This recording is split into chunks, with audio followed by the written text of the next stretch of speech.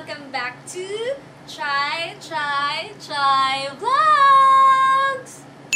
So, this is my sixth video! Yay! Today's video, isi-share ko sa inyo yung unboxing ng dry box ko. So, ginagamit to para sa anti-rusting and fungus sa mga lenses. So, ang model nito ay Anbon AD30S Dry Cabinet Box 30L liters digital display with automatic humidity controller AD30S.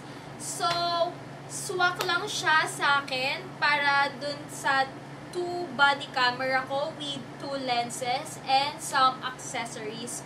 So, depende sa inyo kung gaano kalaki ng dry box ang kailangan ninyo, kung gaano kadami ang ilalagay ninyo.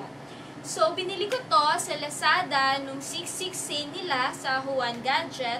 Actually, one year ko na talaga siyang gusto and nasa wishlist ko.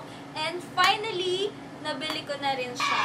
So, if you're interested, keep on watching!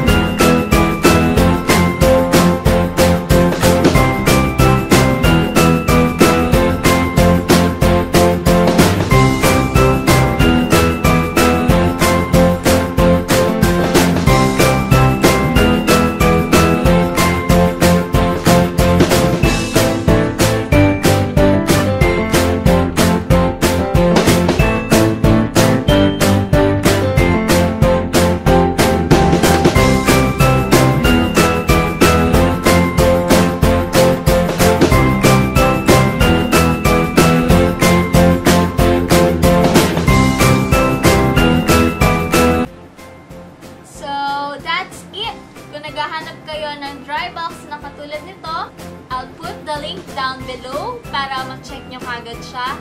And marami din naman options doon. Depende yan kung gaano kadami ang ilalagay mo sa loob ng box.